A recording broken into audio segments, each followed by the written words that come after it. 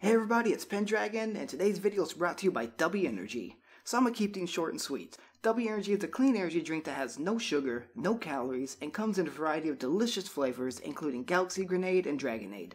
Not only does it give you no jitters and no crash, but it's chock full of vitamins and amino acids, which are great for you. Use promo code PENDRAGON for 10% off of your order and give it a shot today. And now, on to the video. Hey everybody, it's Pendragon, and today I am bringing you a whole new Let's Play. So today we're actually going to be doing a Hardcore Iron Man on the popular MMORPG, RuneScape, and I'm going to be playing the RS3 area, so not the old school. I could do an old school eventually, but I already have an old school Iron Man that I've been having quite a bit of fun with. But um, a lot of people actually recommended that I do this. A lot of people really wanted to see a series made, and they thought it was going to be something pretty different.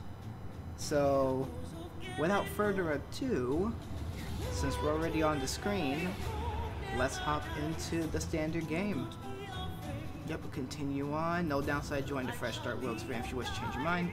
I cannot join the Fresh Start because we are now going to be a member for the time being until I get myself a bond. But let us begin. Oh, we got to design our character first. So I'm to go for something that kind of resembles me for the most part. Uh, dark hair works. Let's go with, uh, let's see, something with long hair, but not like anything super wild.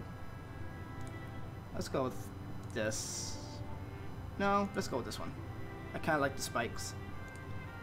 Uh, outfit style, let's see.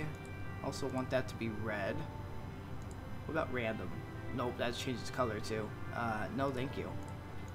Let's go with kind of like this one, but I think I already do this one. Could go with this one. This one looks kind of like a hunter. I think we'll go with that one. And pants, something basic. Uh, let's make it gray, because gray goes good with that. But brown might fit the colors better. Let's see what that looks like, just to wing it. No, let's go with black. And then the boots. Um, the boots, I know I want to make a darker color. Uh, we can just go red and kind of match everything throughout. Know what? Yeah, let's go ahead and do that. And no facial hair needed. So, advanced play mode. We're going to decide Hardcore Iron Man. So we get to show off the Hardcore Iron Man badge includes all Iron Man rule modifiers, which is all this stuff over here. So no player-to-player -player trades, limited access to event rewards, and multiplayer gameplay with Iron Man only, minigames and bosses. Uh, Death removes your hardcore status, continuing as a regular Iron Man. So if we do end up dying, and actually like having to basically start over as a regular Iron Man, I'm willing to continue the series if you guys want to see it.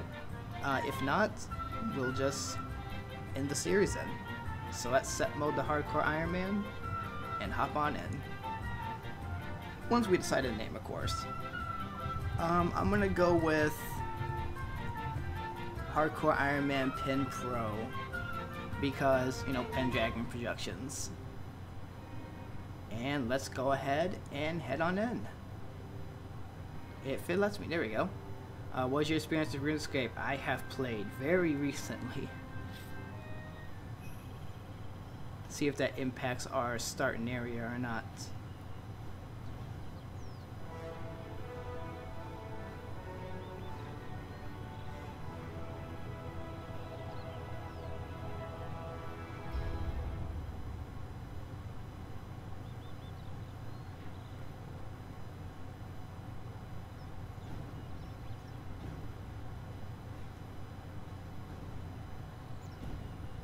And welcome to Burthorpe.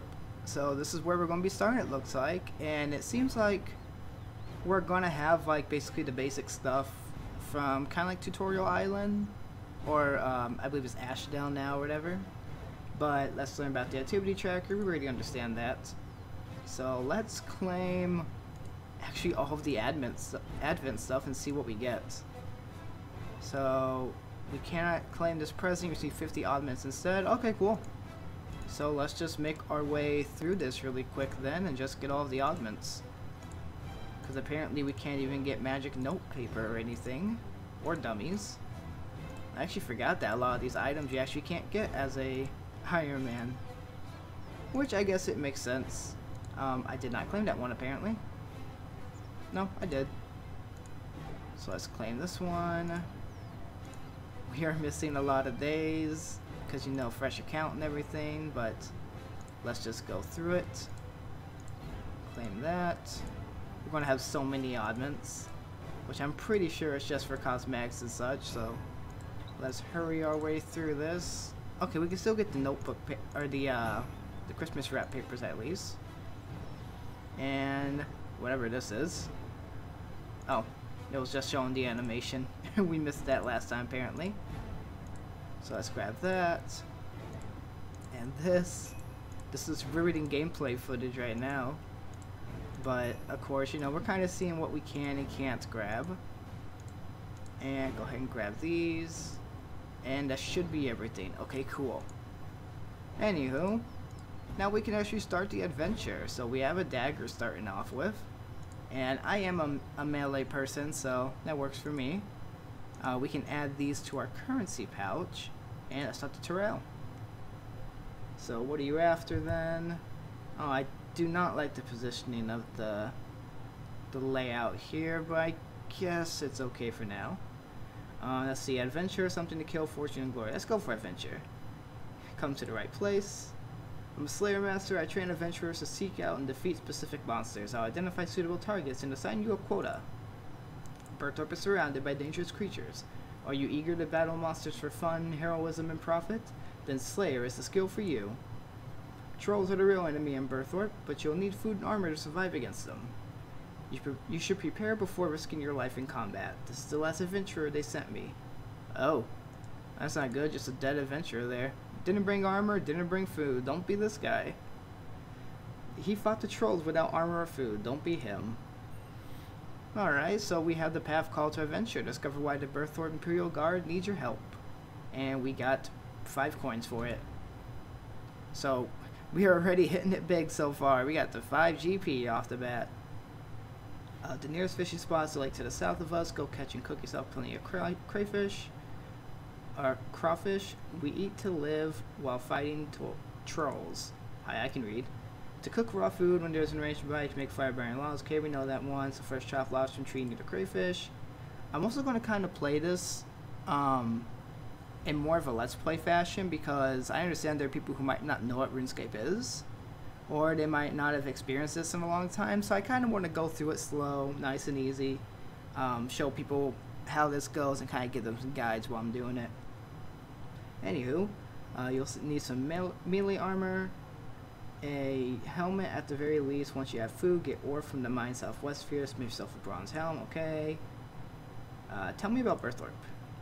So Burthorpe is surrounded by dangerous creatures. Trolls to the north, wolves to the west, goblins in the east. And don't even get me started on the Gothic stand rabbits. We're in the eye of the storm, and it's the duty of the Order of the Slayer Masters to keep that bloodshot eye wide open. Alright, tell me about the trolls. Mountain trolls are hard as rocks, and half as smart.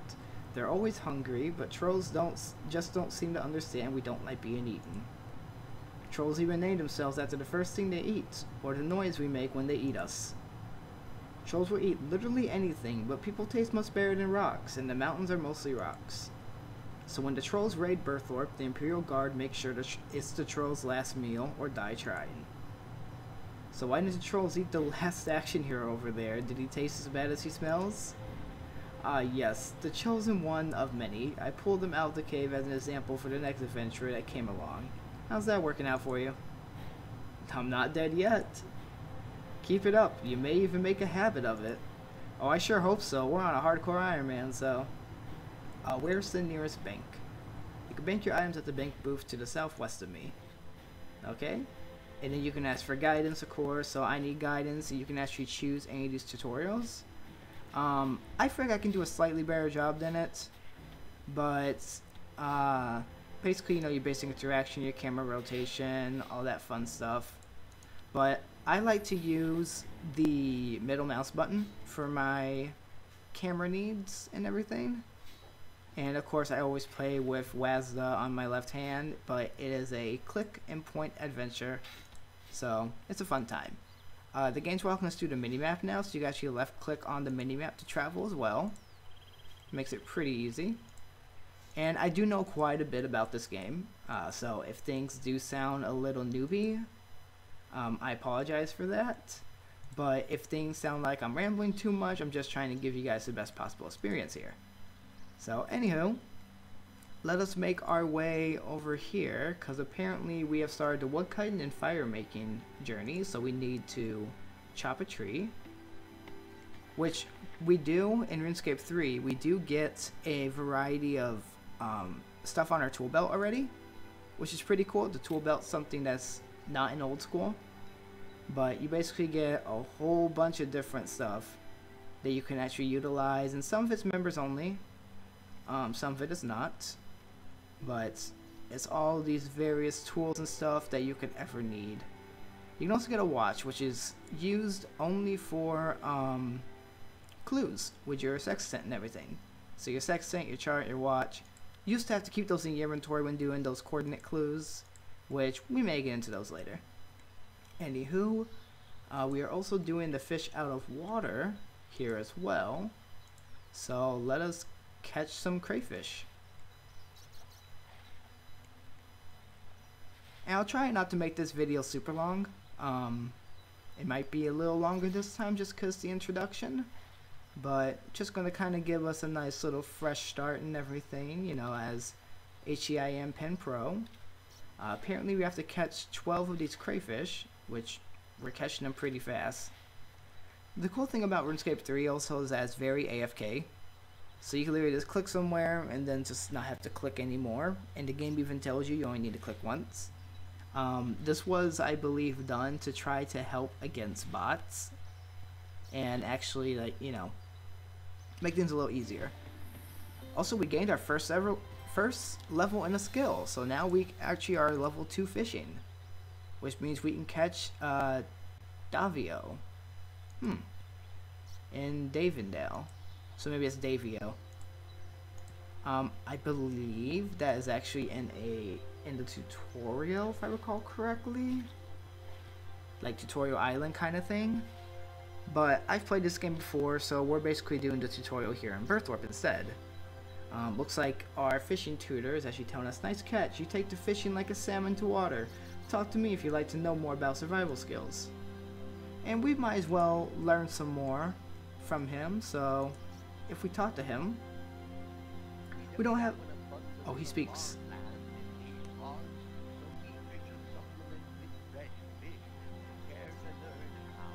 Why is his voice so quiet? Give me a moment here.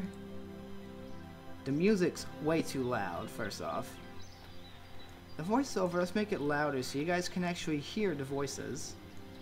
Uh, turn down sound effects, turn down ambient sounds. And we have 142 songs unlocked because there were some that were mini games only. And some that are events as well, so we have all those unlocked automatically, which is cool.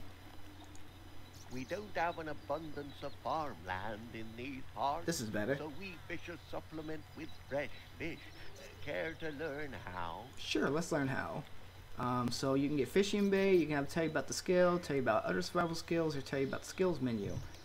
Um, it contains a variety of shops where you can buy and sell items. Uh, these are the shops the, the shop is. These are the items the shop is selling. You may need to scroll down to see more. So purchase an item, simply left click it. Uh, we do need thread. And to sell an item, you can actually do that from here, which is cool. Um, you basically don't get the same benefits benefits as selling things as regular players do. You don't get like um, there's like an empty shop boost or something like that. Like if they're out of an item and you sell something, I think you get more money if I recall correctly. But let's take some of this bait, take a pot, and take take a bucket. And oh, we finished the wealth path by learning how to buy items and sell items to a shop. That's useful. Um, I will be trying to actually 100% on this account as well, by the way, so if there's anything that I cannot do as an Iron Man, that will be skipped. But we will definitely try our best to make our way through here in the easiest way.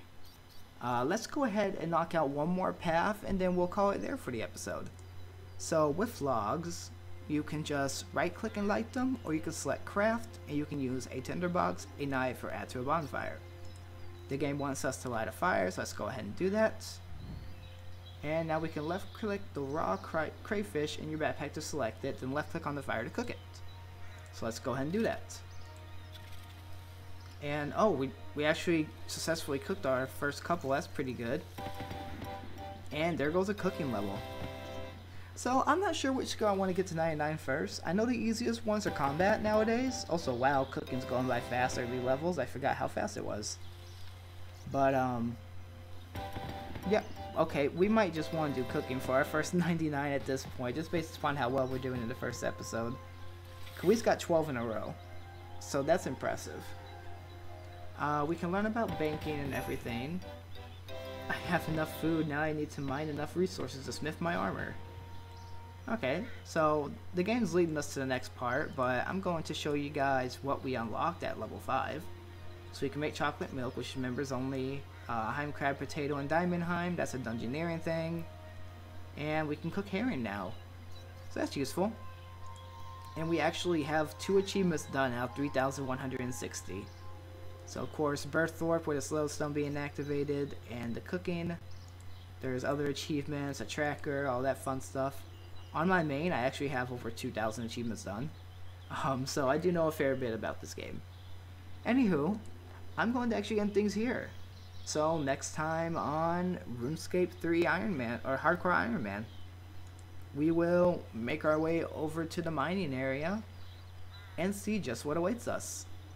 This has been Pendragon, and I'll see you guys then.